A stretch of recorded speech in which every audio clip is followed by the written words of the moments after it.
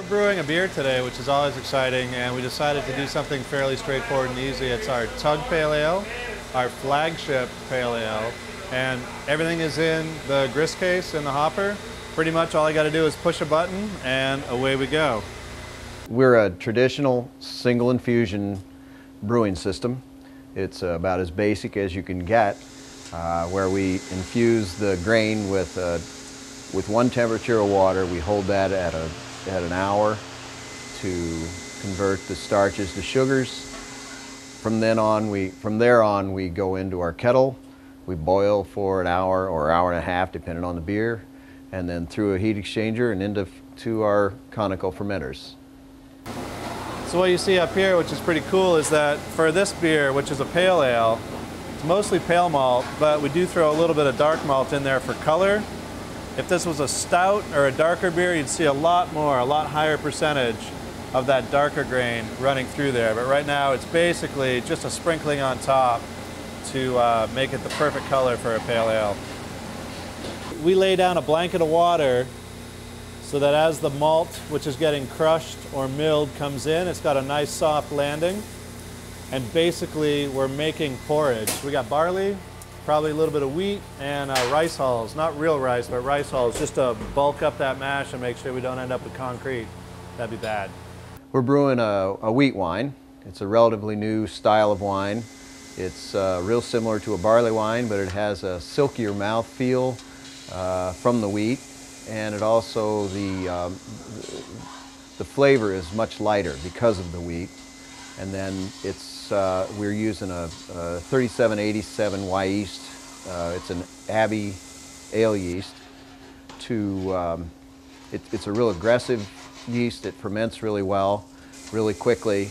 And the alcohol isn't as strong or hot with this yeast, which could be on a high alcohol beer. So I, I think it's a good marriage of malt and yeast. The wheat, we got to be a little careful on. We're putting it all in at the end because we want to make sure that we get the crush on it, right? Because the big stuff, the pale, um, we're set the mill for that. So now we want to make sure that we can get uh, the right crush on the wheat at the back end. So. So the first thing we're checking here is the crush of the grain. We want to make sure that we got just the right crush. We've opened up the kernel, exposed as much of the interior as possible without turning it into flour. Flour's a bad thing. Uh, you run the danger of literally creating cement, creating a stuck mash, and doesn't allow the water to percolate down through the grain. Uh, our mill is uh, a really good mill. Once we lock it down, it's in good shape. We use a single roll malt mill, which is, that is the description, is one roll, and it goes against the two rolls come together to a, to a small measurement. And it's real important for the crushed. Every, or we try to get all the grain crushed.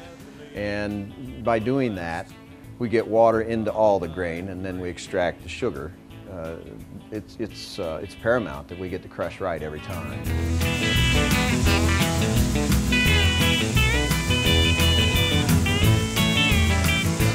The entire process is temperature dependent.